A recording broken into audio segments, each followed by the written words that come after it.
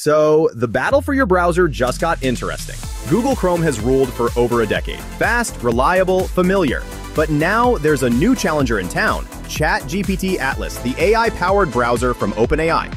It's promising to change how we browse, search, and even think about the web. Today, we'll pit Atlas against Chrome, the pros, the cons, and whether it's time to go full AI. Atlas is OpenAI's shiny new browser, built on the same Chromium engine as Chrome. So compatibility? Excellent. But here's the twist. Chrome's about speed and simplicity. Atlas is about intelligence and interaction.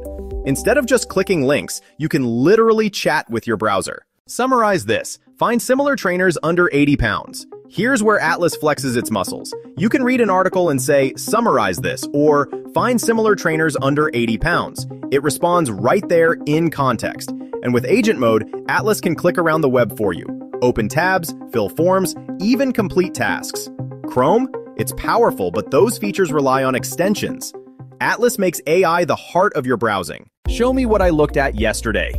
Atlas can remember your sessions, what you viewed, researched, and discussed.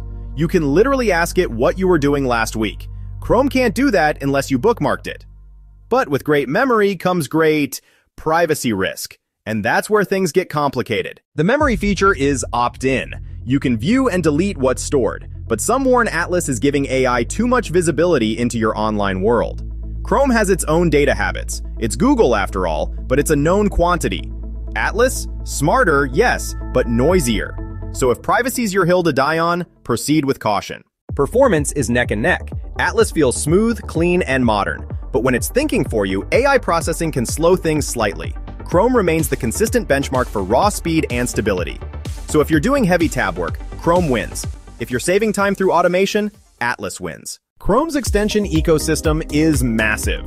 Developers, ad blockers, productivity tools, you name it. Atlas doesn't have that yet. Some features like summarizing or translating are built in, replacing common add-ons. But if your daily workflow depends on extensions, stick with Chrome.